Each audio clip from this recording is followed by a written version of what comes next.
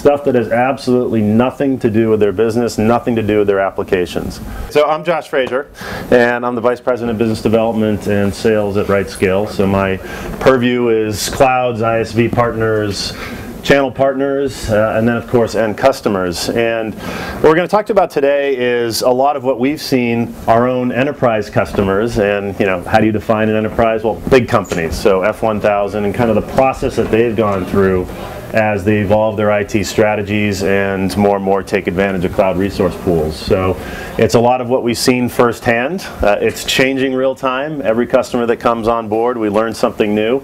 Um, and hopefully you can get out of this just a couple ideas of how to get started, uh, a couple warning signs of what to avoid. uh, take advantage of the folks that you heard this morning, like CBS, for example, and IHG.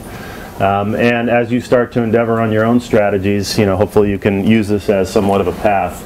Um, and all these are being recorded and they'll be posted online uh, in about two weeks usually. So just FYI, no need to take, uh, scribble and take massive amounts of notes. So quick poll, how, how many in here are uh, from enterprise companies, F1000? All right, who's currently doing something in Amazon or any other public cloud? How about a private cloud? All right, good. So a lot, a lot of folks just starting out. Fantastic. So let's, we're going to focus first on the journey we're seeing these organizations go through. Uh, some of the pitfalls, all right, so first-hand learnings uh, that we've seen companies kind of get themselves into a, a, bit of a mess. Talk about how RightScale helps bring a framework and control back to the situation. Uh, and then we'll finish up on where to get started. Uh, and odds are, if you have any sort of infrastructure already of your own, uh, if you have an email address and a credit card, you know, you're ready to get started with something. So you probably all heard about, bought into, you wouldn't be here if you didn't, the shift that's going on. Okay, so I, I won't belabor the point here, um, but I did want to point out uh, another way to look at this shift, you know, as things more and more move to cloud architectures, is the whole underlying resource pool was designed from the bottom up with a fundamentally different methodology in mind. All right, so this is not about traditional tightly integrated application stacks. This is about open frameworks. A lot of open source is really what pioneered uh, the early cloud architectures. Um, the old stacks that scale vertically, data centers, very, very difficult, had a high amount of overhead. What we're seeing now is resource pools and clouds. And when I say clouds, I mean an API endpoint. Okay, so don't confuse clouds from cloud providers.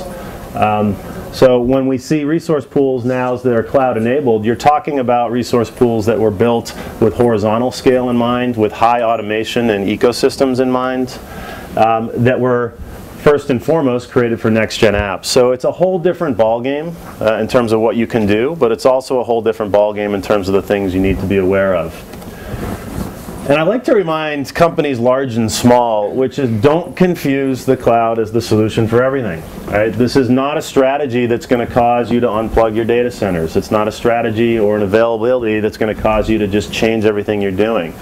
So although it is for everyone, it's not for every app. Right? And that's a very obvious, hopefully, but important thing to remember as you start to endeavor uh, in, in different ideas and different workloads those of you that caught Michael's keynote saw this uh, saw this progression, but I want to use it again because this is very indicative of what we see typical organizations go through as they start to endeavor, you know, down that road of hybrid, fully audited, automated cloud-based architectures. And we see this really in three distinct groupings, right? A lot of companies are here, right? So how many people in this room have already virtualized? Okay. So a lot of companies are here, and some even mistake this for being finished, right? So this is a cloud. Well, it is a type of cloud, right, as some define it, but it's not a cloud as, you know, certainly we define it, and as some of the customers that you heard this morning define it, which is it's not fully automated, it's not on demand, it's not pay as you go. All right. So what's happening here is that organizations and IT ops that are, you know, used to controlling that first three steps uh, of how IT evolves, what they're finding is that elsewhere in their organization, end users, so individual developers, line of businesses, are having the opportunity that they never had before, and they're bypassing ops. You know, call it what, we, what you will, you know, black ops or however you want to put it. The point is they're conducting business and accessing resources outside of the control uh, of the IT ops group. Right? And this is what's going on all the time in these organizations, whether they know it or not. Right? So it's, it's, it's funny we see registrations come in with domains from big companies that we're talking to, and they think they're tightly controlled and coming up with this cohesive strategy to move forward, and it's already starting to happen you know, the reason being is, you know, it's easy, right? And a lot of these developers and a lot of these line of businesses, they don't care necessarily about what's underneath. That's not typically their problem, right? They're more focused on, you know, hey, how do I get this cheaper? And how do I get this quickly? Right? If you have to launch a product, um, if you're a news organization and some you know event happened that you weren't expecting, if you're you know launching a new game, whatever it may be, all right, time to market becomes critical, and a lot of these organizations will have cycle times from procurement to fully provisioned stack that are measured in months, right? So really, really powerful drivers that are tough to control if you're an IT ops group. But where these groups need to get, where IT ops needs to get, is to bring everything back in uh, to where they have visibility, they're back to standardized and compliant and certified stacks, and that they can truly benefit the on-demand, pay-as-you-go uh, utility models that cloud computing affords. So that's where they're trying to get to. The problem is, you know, it's not easy. And this is where we hear all the time, you know, focus kind of be put on the wrong places. People love to talk about security. I'm not going to talk about security today. I'm not saying it's not important, but you look at surveys like this, and this is from uh, this is from a recent survey that was done in July uh, around the hosting a transformation summit that was in Vegas with Tier 1 Research. And if you look at that list, it's not even top three. All right, so at a very, very fundamental level, when customers and companies are thinking about how to take advantage of cloud computing, all right, what they're first running into is the same thing any disruptive technology faces. It's different. I got to learn something new. all right, where do I start? Uh, and then once they start, start to dive in, they realize that it's not as simple as they thought. All right, so very, very important factors and pressures going on inside these organizations to keep in mind. Um, you know, to put it in simple terms, if I'm an end user, if I'm a developer, and I need access to a server, well, I see a very simple web form that all I need is a credit card and email address, and I can get a server. I can get the same thing that used to require a lot of bureaucracy, a lot of time, a lot of approvals. I can just simply do it on my own. But to an IT administrator, to an IT officer, that's all the things that they see, right? A ton of complexity, a ton of concern. Right, they have a whole different set of roles and responsibilities that line of business owners uh, and developers simply don't need to worry about. So because of these pressures, what we see happening all the time is just a complete loss of control. All right, and you can kind of sum it up into into three uh, three key areas. You know, the first is IT leakage. I'm not even sure what that really means, but it just doesn't sound good. It can't be good, right? I mean, IT leakage can't be good. I think we can all agree on that you've lost kind of your operational wrappers, right? Those tightly controlled, certified, and compliant builds that you can hand out when you're ready uh, to your end consumers, all right? Well, that's gone. And, you know, in a, in a very frightening way, you have absolutely no idea what's going on. Right? It's, we've walked into companies that literally is extreme as, hey, I have 35 people that I know of submitting expense reports for infrastructure on their Visa cards. Right? How comfortable is that going to make a CIO or a CTO? Right? So all this stuff is happening and it's symptomatic of the pressures that you just heard me go through. So specifics, right? What used to happen on the procurement side is you had a process, you had procedure, you had approvals, you had forms, all right? It was a specific sequence of events that took place before that developer got access to the resources. You know, who's gone to Amazon or Rackspace and signed up for an account? How long did that take you? Four minutes. Four minutes, okay. Your requirements to get a server are a credit card and an email address. That's it. so someone like me who has absolutely no business going to grab a server can go get one in four minutes. So pretty scary stuff if I'm working for any company that cares about controlling IT. On the provisioning side, well, that also used to be tightly controlled, right? Certified stacks were built, images were bundled, they were delivered to the internal organizations, the internal customers. Now what's happening is organizations that are in the cloud but without wrappers like RightScale, well, they're still bundling images. So in the case of Amazon, they're creating AMIs. In the case of private clouds, they're creating bundled base images, handing it off to developers, and guess what happens? developers are tweaking things, installing things, changing configuration parameters uh, around that server, running into problems, and who do they call? Well, they call IT ops, and IT ops has absolutely no idea what they did. right? So they've lost kind of the wrappers and the controls around the provisioning process. And then finally, you know, governance and control. So, of course, security, but let's just start with user audits. Let's start with cost tracking. Let's start with things as fundamental as what ports are open, all right?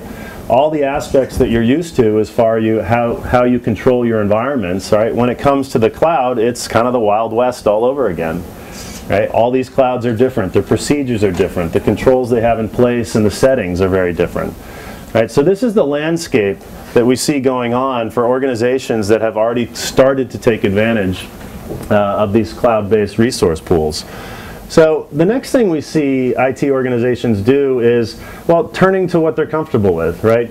Going with traditional vendors and perceived solutions, all right? So an initial reaction we hear all the time from organizations that have internal data center assets is great. I'm going to slap on vCloud Director or I already have a cloud with vSphere. Okay, so they take traditional vendor solutions that are being very aggressively marketed as cloud, all right, and believing that's a solution, believing that they're done. Well, what happens is they realize that they're right back where they started, right? They have a very inflexible, expensive uh, solution in their in their data center. So that's not going to work. Well, then they look at public clouds and they quickly find something that we discovered three and a half years ago, which is all of these clouds are different. The APIs are different. The resource behavior is different. The location is different. The price is different. Right? There's an incredible amount of complexity underneath all these different cloud, uh, cloud infrastructure providers that makes it very, very difficult to use more than one. And if you start using one, it makes it very, very difficult to move off. All right, so that's not a solution either. All this is done in, in what we call kind of a do-it-yourself way, a DIY. And a lot of people don't don't realize this off the bat, but Clouds are sets of APIs. Okay, and if you think about Amazon, for example, all right, that's one provider. That's five different clouds. All right, they just launched an Oregon uh, region, so now there's six. So one provider. Seven. Where's the seventh? GovCloud. GovCloud. Thank you. well, then you have to count eight because GovCloud's in uh, in Oregon, I think, as well. All right, so one provider. You know, in the case of Amazon, you know, seven clouds. All right, but these are just building blocks. All right, so if you think about these resource pools, yes, they have a lot of sophistication in terms of what can be done with them.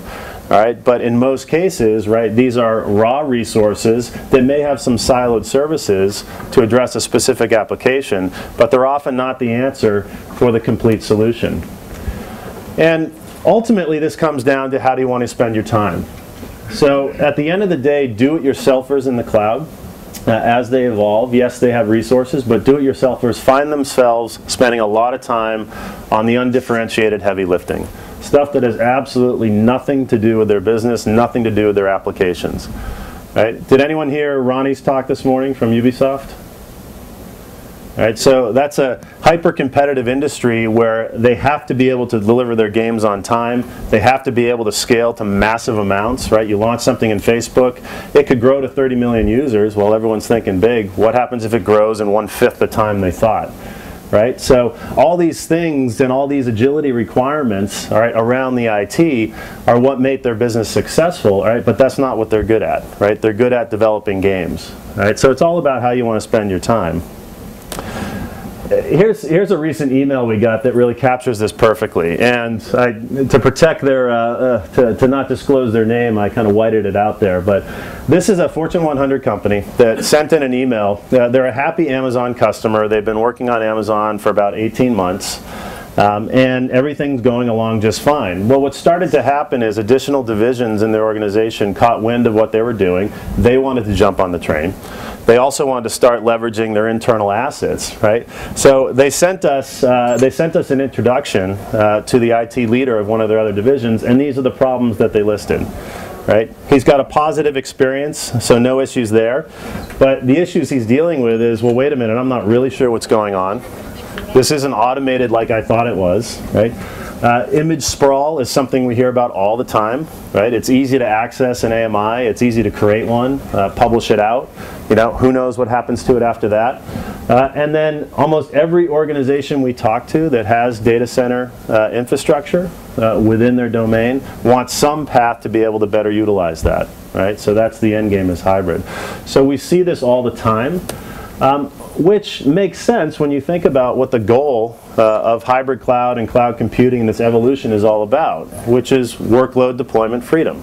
And you heard some of this this morning, which is, you know, again, clouds for everyone, not every app, and you want the flexibility to look at your application as one of a whole portfolio decide whatever filtering requirements are right for that app and right for you, and then have multiple resource pools, multiple types of resource pools uh, available to you in terms of where you can deploy that app, right? So if the data needs to reside in-house, well, you're not going to deploy it on the public cloud. Right? If you're bursting to tremendous levels over very short periods of time or it's totally unpredictable, probably not good for the private cloud. Right? So the whole point and the whole goal is you want to get to here where you have choice, you have flexibility. Right? So think about this as a simple evolution, right? So you go from you know walking on all fours to you know guy running around who's agile and strong athlete. The, the problem is if you don't do it the right way, you can end up like this. Okay? right, so that's what we want to avoid. Right? We don't want the fat and slow where you got to keep feeding an inefficient machine. Okay? That's not the goal here. Goal is this, not this.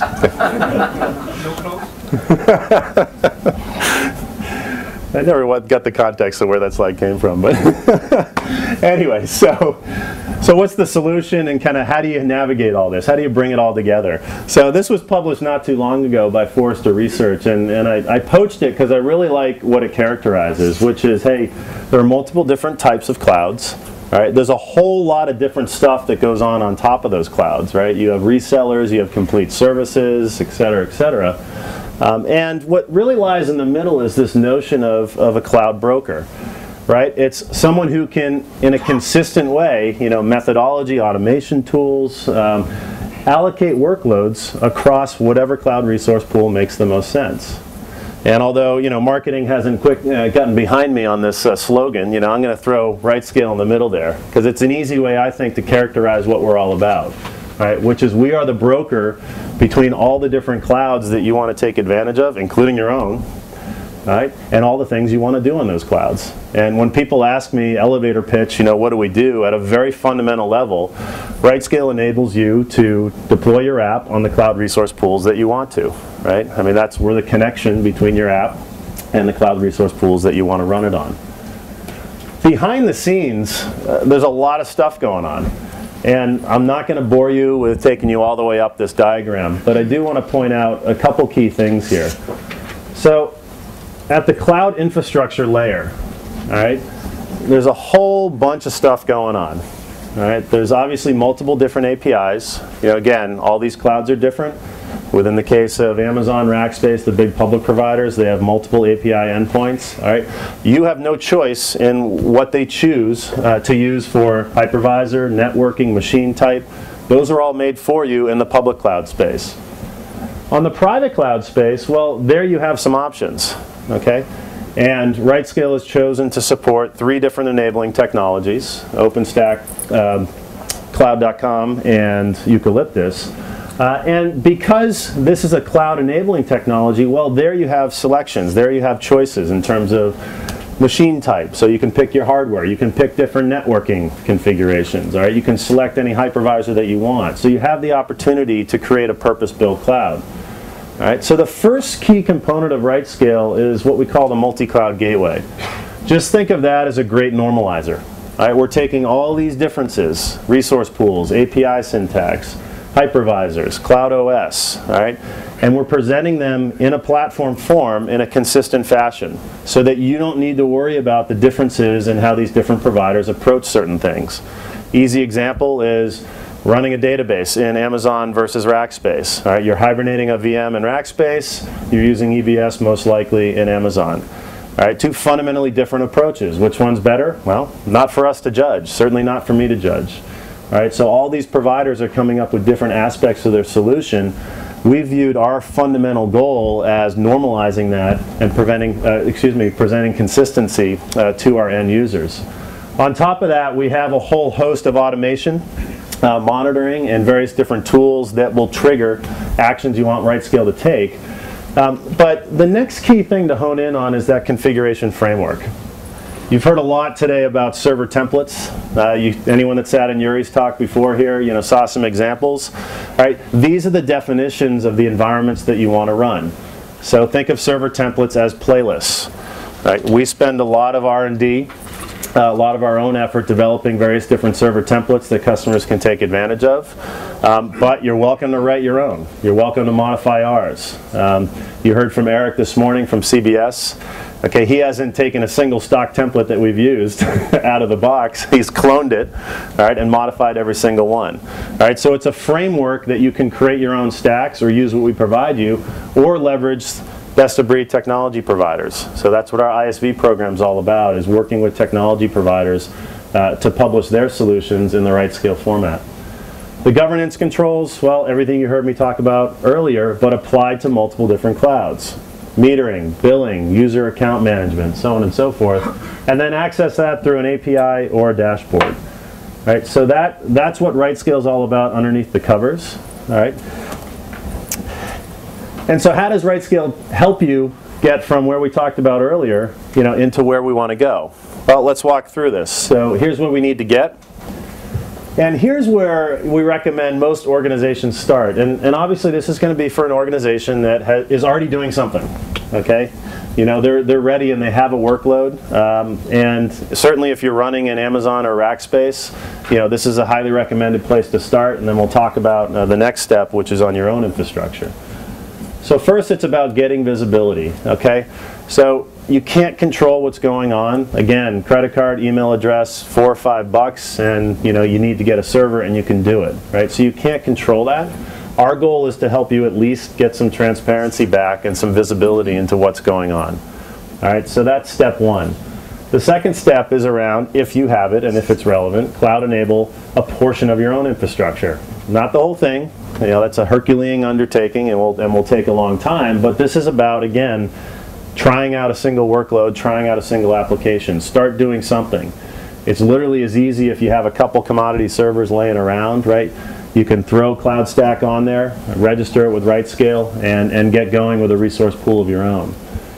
The next step is around how to control and rein in that VM sprawl, both internally on your private cloud and externally in Amazon.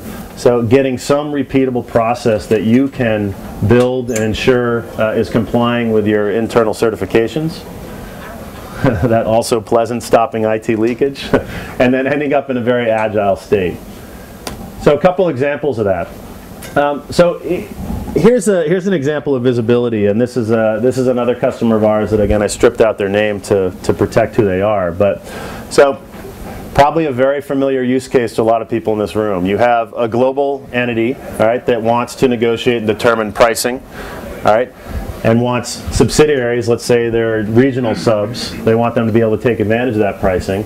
Right? They want to segment by certain uh, project team. They want to segment by certain product. They want to segment dev from uh, testing from production. So what you can do within RightScale is set up uh, a parent and child and soon to be grandparent relationship of how these accounts relate. You can share configurations amongst those different accounts. All right, so if you're using a specific server template configuration that you want to publish uh, between accounts, you can do that by setting up private libraries. But the key here is all of this is across all the clouds that we support. Right, so hopefully it's obvious if you adopt the identity management solution of cloud provider A, well, that's not going to help you on cloud provider B unless they decide to get together and you know come up with some platform solution, but that's probably unlikely. Also within each account, you can segment what resource pools they have access to. This becomes very, very critical if you're dealing with sensitive data sets. If you have to ensure a workload stays on a private cloud, well, you can isolate the given account that you're allowing that developer to access to just the private cloud. And you're going to see a demo on how that works here in a second.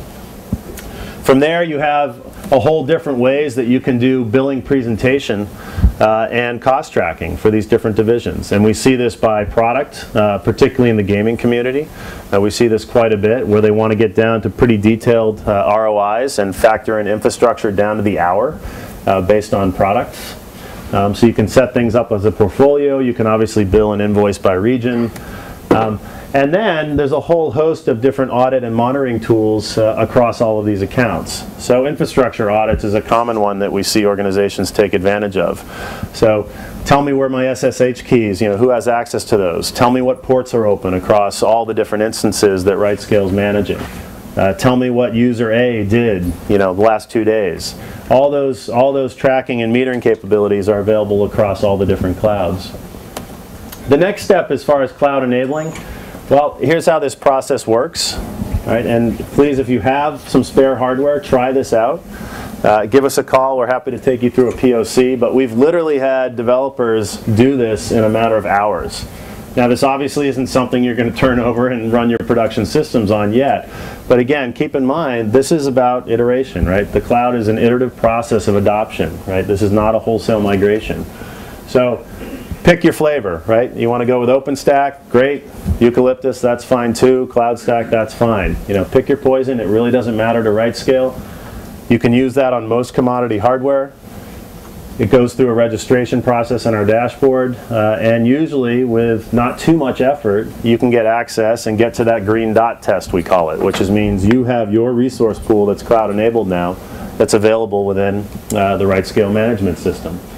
From there, you can take advantage of uh, one of many multi-cloud server templates.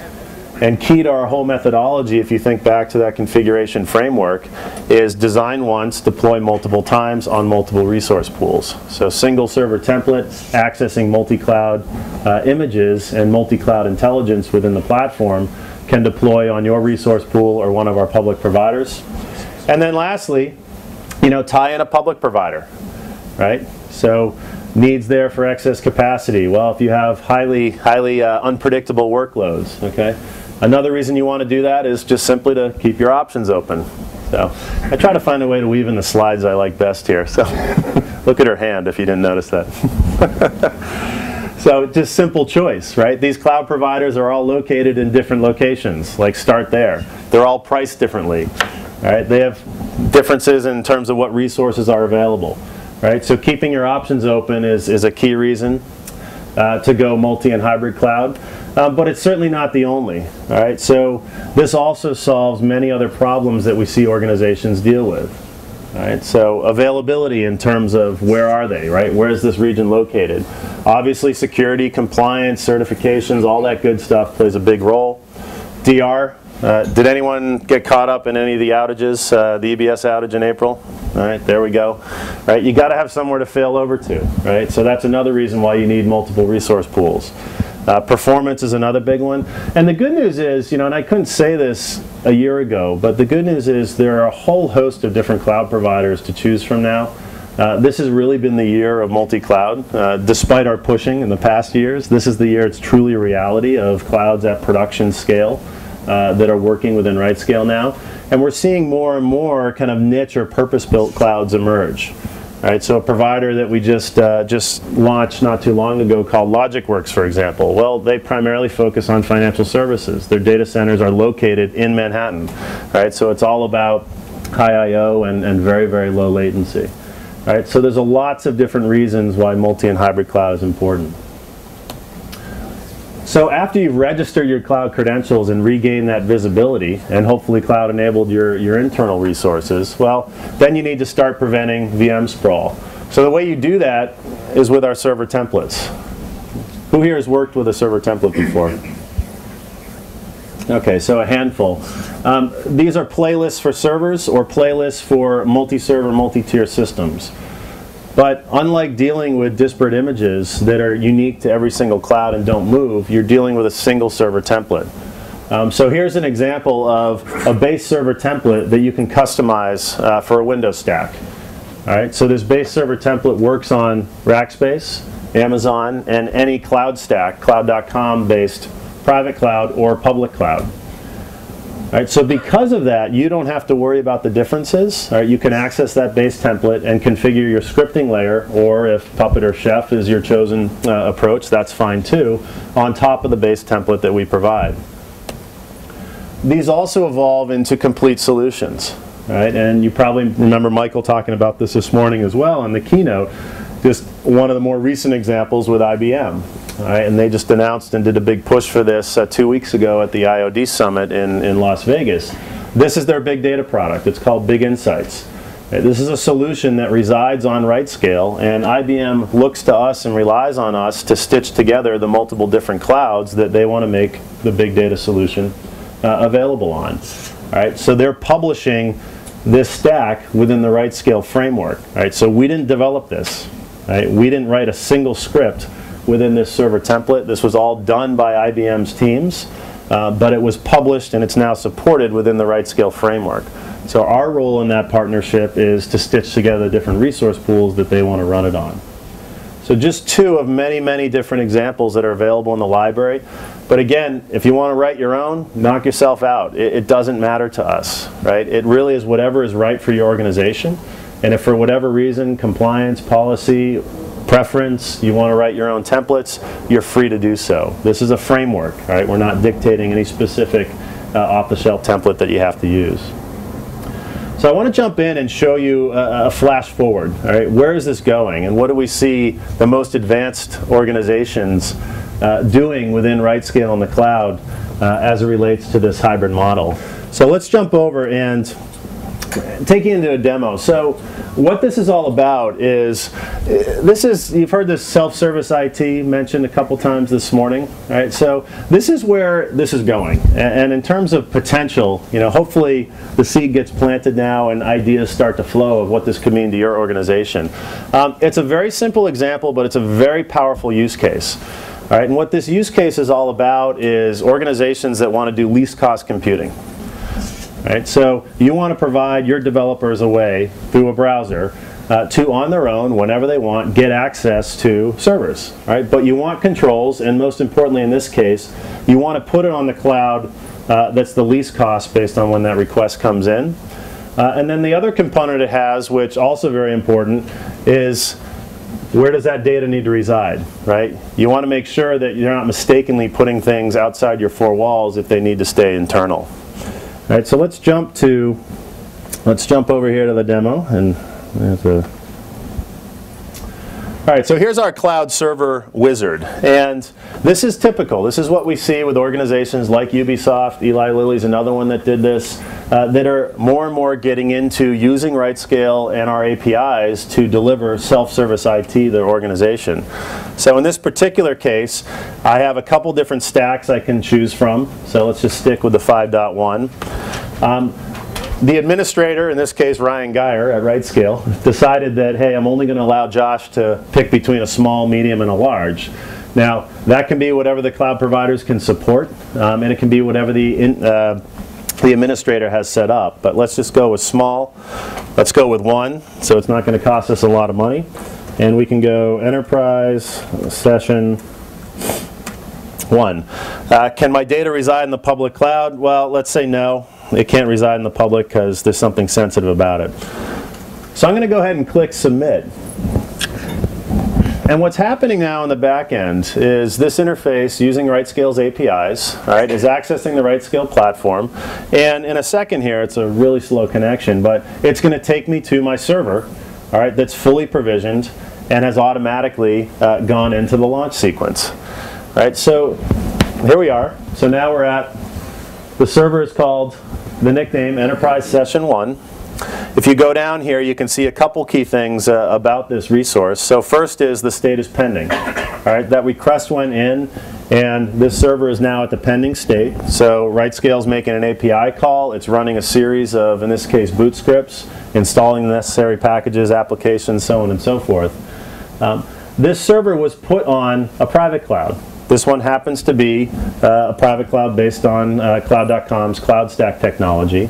Uh, again, you saw me select that no, it has to stay, uh, the data has to stay in the private cloud. Right?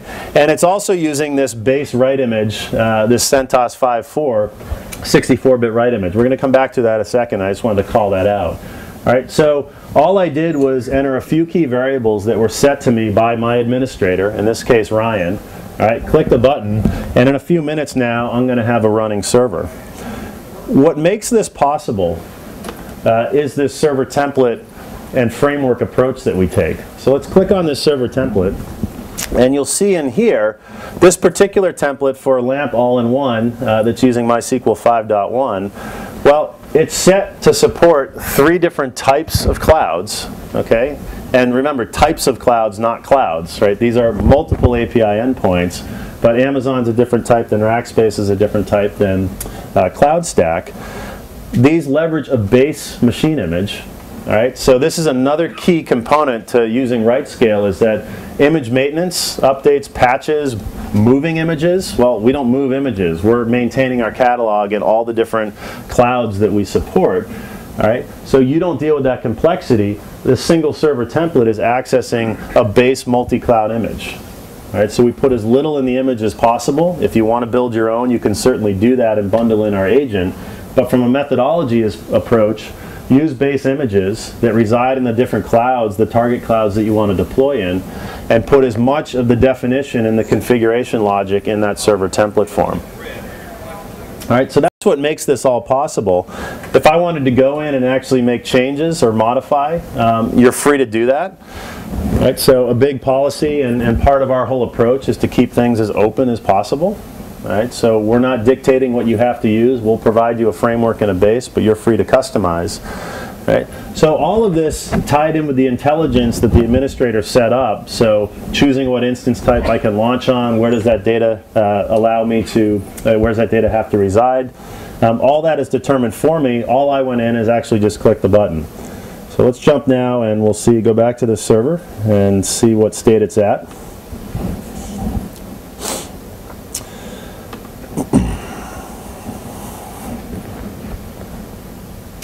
All right, so here's this enterprise session one. Uh, looks like it's three minutes into uh, its boot time. It's got a public IP address. I can go ahead and SSH in here if I wanted to. Um, I can go here and look at my audit entries. Let's just take a look at uh, what happened here. So you can see right here, that summary is operational. There's session one, and you can see the track of, of what I did, you know, when that server was requested and when it launched. So it's a, it's a simple example, but hopefully it captures the powerful concept that we're trying to get across, which is this whole sequence of events, right, and the set of controls that were put in place here used to be something that was measured in months and tightly, tightly controlled by the IT, IT ops team. It was a whole process. Right, what you can do now using platforms like RightScale and these multi-cloud architectures is you can leverage these frameworks, leverage our APIs to give empowerment that was never before possible to line of business owners, individual developers that drive business agility through your organization. And when people ask me what I mean by business agility, well, I have a pretty simple definition for that, which is when IT is no longer a hurdle of any kind. It's no longer a procurement hurdle. It's no longer a timeline provisioning hurdle. It's no longer a capacity hurdle. Imagine how your business changes when IT is no longer a hurdle of any kind. And that's what this is all about. So just to finish up, wanted to leave you with um, two, two recent quotes uh, that I like and they help capture what we're all about.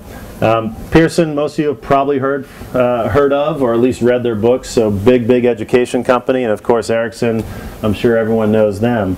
Um, but why these organizations are making decisions to go with solutions like RightScale and uh, do it in this fashion is because in many cases for larger organizations or more complex workloads, no single cloud or no single cloud type is the right answer. Right? And they want to leverage the resources but have consistency around provisioning methodologies, configuration management, automation, user, account control, so on and so forth.